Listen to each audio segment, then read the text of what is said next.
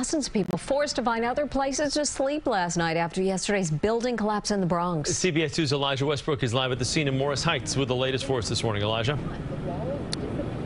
Well, Kristen and Mary, at this time, it appears crews have paused their overnight efforts after uh, concluding that no one is actually trapped in that rubble. We will do want to show you what that rubble is looking like at this hour here on Burnside Avenue. And on the ground floor there is where a bodega once stood. But above that, check that out, are six floors of apartments now completely exposed. The big question now is how could this happen? A shocking and disturbing scene. Watch as the seven story building quickly falls to the ground as people run away in fear just after 3.30 Monday afternoon. We see this construction stuff will start cracking and then there was two guys doing some construction up there. We see like a big rocks start falling down. then the whole building just fell down in like a second. This bodega owner says he saw the whole thing happen from across the street. We heard something like some people screaming across the street, so we go out to see what's going on. We see this construction stuff will start cracking, and then there was two guys doing some construction up there. We see like a big rock start falling down, then the whole building just fell down in like a second. Officials say first responders got here in a matter of a little more than a minute and a half. Firefighters brought out all the resources needed in the search, including drones and canines. It took hours.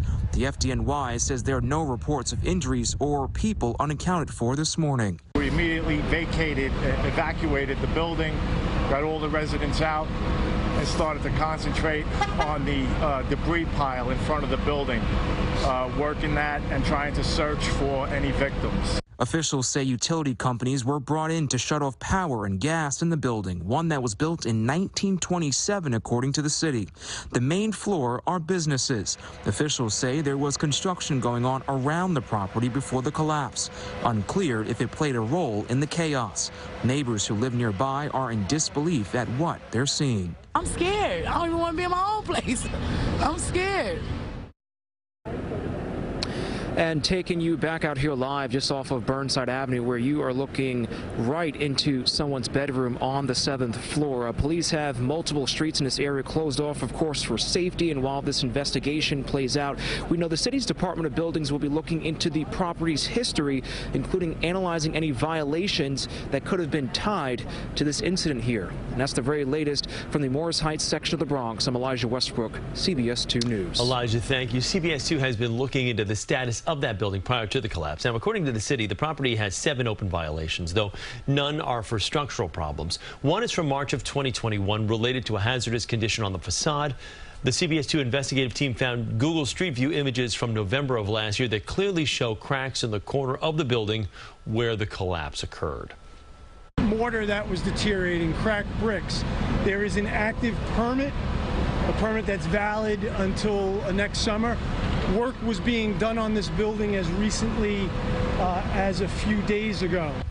But the buildings commissioner says unsafe conditions on a building's facade don't necessarily mean a building is structurally unsafe. CBS 2 also found permits were just issued yesterday for sidewalk construction, but it appears that work had not yet started.